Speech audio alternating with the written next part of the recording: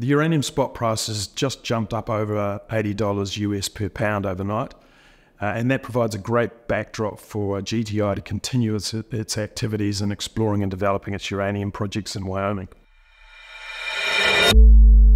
So in Wyoming, we're in the Great Divide Basin and in the Powder River Basin.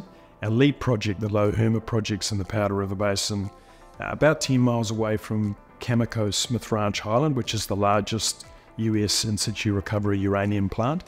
We're also very close to Energy Fuels uh, and uh, UEC, which is uh, UEC is the largest US uranium company, and just down the road from UR uh, Energy, which is currently producing in, uh, in, in the Great Divide Basin.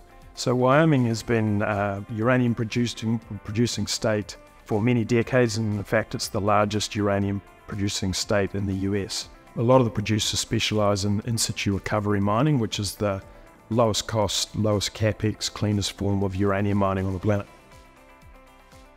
So the drill program at Lo Herma has been going well. We've had good weather uh, and been, we've been making good progress.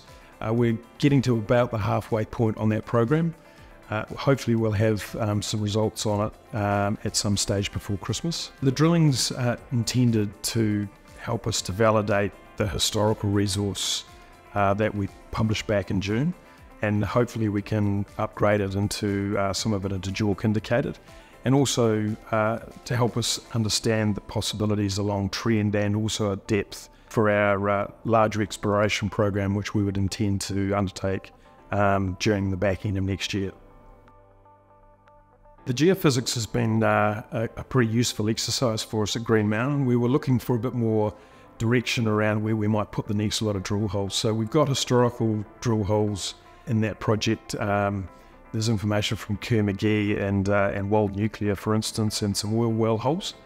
Uh, so we know there's uranium mineralization there. What the geophysics has shown us is there's about 12 miles of easily identifiable trend, and there's uh, across about six anomalies. And so what that's uh, uh, given us is a really clear direction about where we might um, drill and find some success. So off the back of um, of that information, we'll plan a drill program uh, and get it permitted in the hope that we'd be able to drill in the back end of next year. Um, there's pretty uh, exciting territory there. We've got Rio Tinto with some very significant deposits to the north, and we've got uh, UEC and UR uh, Energy with deposits immediately to the south. So uh, we think we're in a good spot. So the next things that you'll see from us, uh, hopefully some drilling results in the next couple of weeks. Uh, and that, that'll be the main thing before Christmas. And then, you know, we'll work through uh, the drill targeting at Green Mountain and you know, it might be the new year that we come up with some um, drill targets and some permitting um, for that project and a, and a, plan to drill it, um, as I said, probably in the second half of next year.